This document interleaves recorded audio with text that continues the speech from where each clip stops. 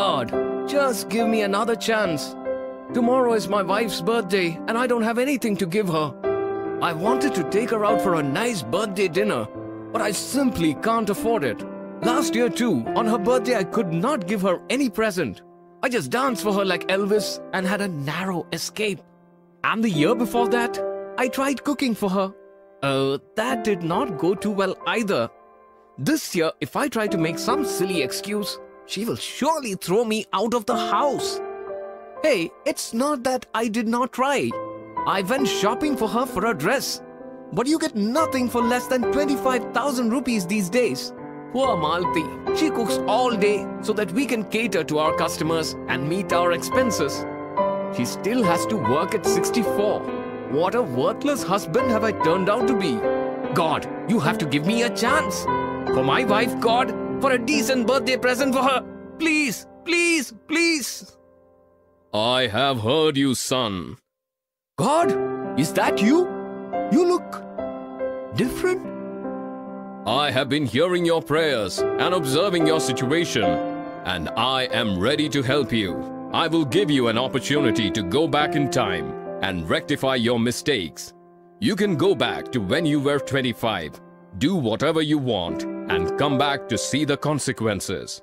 But remember, you can do this only thrice, and your wife's birthday is just two hours away. So do wisely. I am going to ask Laila out for dinner.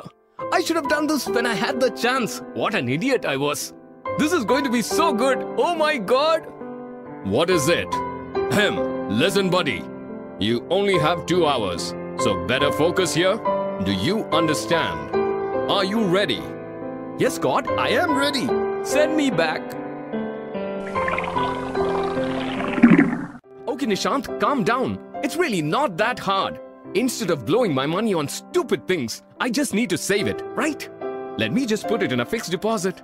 Yes, that's it. Fixed deposit. My money will be safe and I can withdraw whenever I want to. And yes, it will give me a good rate of return. I can't wait to see my living condition when I go back to the future. Wait till I see the big smile on Malti's face. God, I'm done. Send me to the future now. What the? Nothing's changed? The same old sofa, the same old house. Wait a minute. The television seems to be new. Seriously? This is what a fixed deposit gets me? A new television?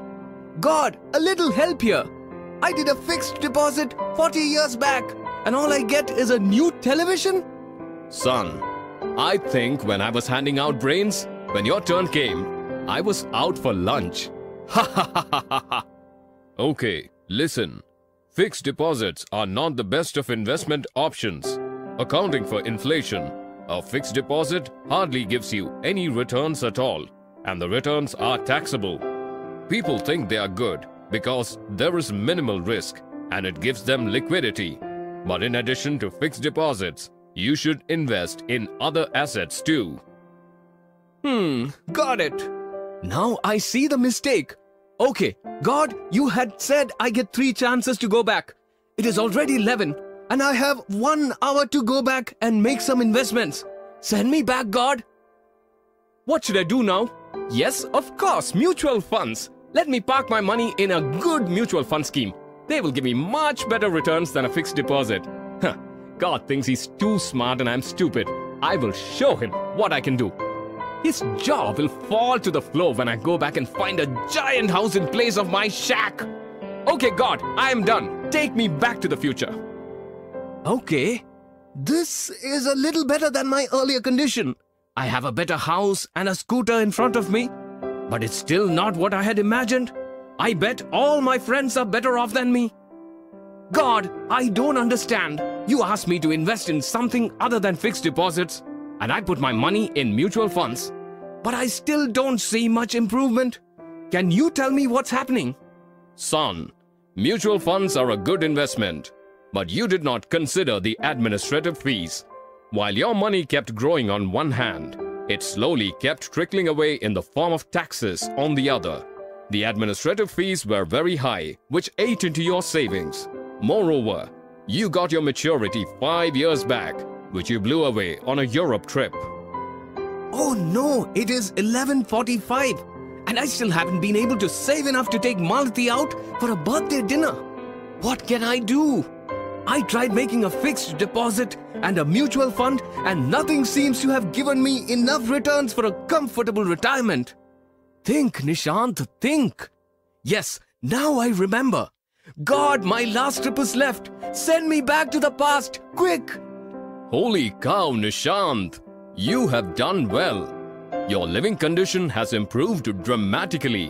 What did you do? God, you know when you were distributing brains, you really were out for lunch? So I helped myself to a very large serving. Actually, this time I remembered something I had seen in my office. There was an animated video presented to us by the folks from HDFC Securities. There they talked about the National Pension System or NPS. NPS not only beats inflation, but the returns are tax-free and contributions became a tax-free component of salary. The administrative charges are also low as compared to other investment instruments. My retirement savings will now come back to me as a monthly pension. That would keep my expenses under tab. Moreover, it is regulated by PFRDA, which is a Government of India body. It is a low-cost investment compared to other financial products. Lastly, it helped me save additional tax over and above the normal 1 lakh tax limit, which is the biggest advantage. My gross salary was rupees 15 lakhs. I used to pay approximately rupees 4 lakh 50,000 as 30% tax per year. 35 years back, I started investing 10% of basic salary in NPS, which was approximately rupees 50,000 due to which my taxable income came down to rupees 4,35,000. I saved rupees 15,000 on tax per year. After 35 years, I made total tax savings of rupees 5,25,000. Over and above that, I invested rupees 17 lakhs 50,000 in NPS. Assuming 10% average returns, I built up a corpus of rupees 1 crore.